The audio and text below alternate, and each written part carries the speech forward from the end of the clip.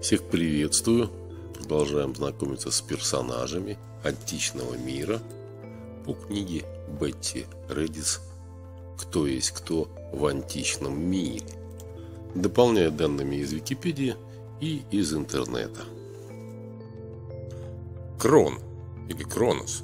Кронос – один из титанов, младший сын неба, Урана и земли Геи. Крон захватил трон Урана – Кастрировал отца и женился на своей сестре Рее. Всех своих детей Крон проглатывал сразу после рождения. Однако Рее удалось спасти Зевса, подложив Крону вместо сына, завернутый в пеленки, камень и втайне от отца вывезя младенца на Крит. Эта необычная легенда определенно имеет догреческое происхождение. Позднейшие мифографы идеализировали Крона, считая время его царствования золотым веком. Существует версия мифа, согласно которой Крон стал править на островах Блаженных.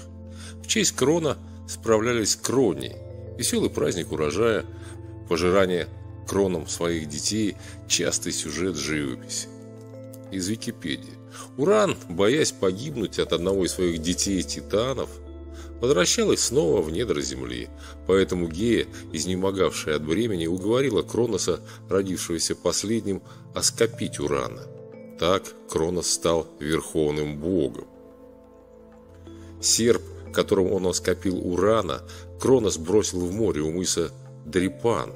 Этот серп хранился в пещере на Сицилии. По Ферикиду Сирскому Кронос победил Афиона и первым был коронован.